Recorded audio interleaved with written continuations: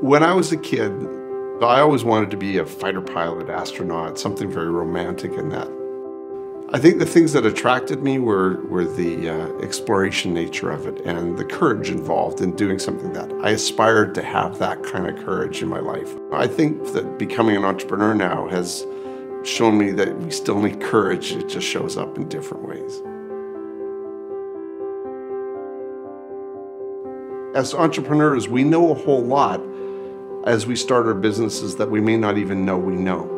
But when we learn something new, it certainly helps our community if we'll share that. By giving back, we've learned a whole lot about what we need to do and help strengthen our company and others around us. It was the height of the financial crisis. Um, some people thought I was crazy starting a company at that time. And it was too early for large companies to be interested in it, so something else had to happen.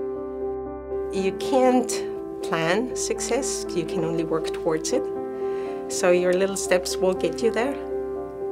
Run if you can, walk if you have to, crawl if you must, but never give up. So the amazing transition that we faced with now is um, we're moving from 9,500 square feet in North Van to a space in South Vancouver. You know, everyone's, you know, enthused by the move. It's, it's just such a great move for the company my uh, daily routine of either you know taking conference calls in the early morning, biking to work, doing a, a, a day in the office or the lab has been um, superimposed by feeding, uh, burping and sleeping sessions. Change becomes normal eventually.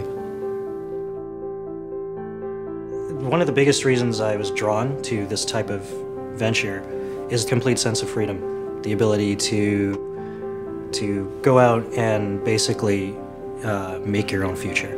And that's what really, really appealed to me.